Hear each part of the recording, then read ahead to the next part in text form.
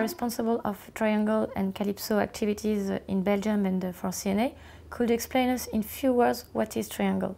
Triangle is a transport application that is present on Calypso cards and that allows customers to travel uh, in other regions or other cities than the region where they normally uh, travel. There's no need of uh, agreements between these ne networks. It's the networks that choose to work with the Triangle application. Okay, and so could you give us some example?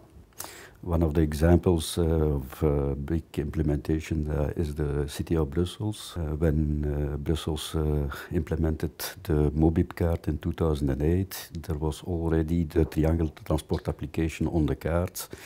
The other op operators in Belgium did the same thing, and thus all Mobib uh, card holders can use the triangle application in other regions, in other countries, in other cities. So you mean that Brussels citizens that use Mobib can buy tickets and use them in every other city which participates to Triangle? Yeah, that's right. Uh, an example will be uh, soon in uh, the lines between uh, Lille and uh, Wallonia. Uh, the customers will be able to use their cards of Lille or their cards of the Mobib Belgian application. So in the same card? It's on the same card, yeah.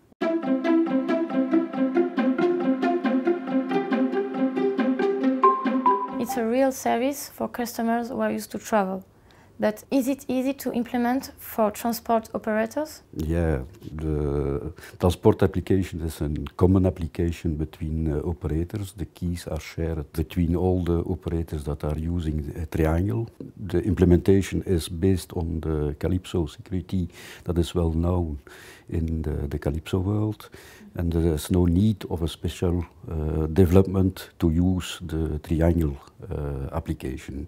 The only thing uh, that the operator needs to do is to uh, uh, specify which uh, products he wants to sell on the triangle application. For example, you can have a one-day ticket on the Triangle application and the yearly season uh, contract uh, is on the local application. That's the choice of the operator.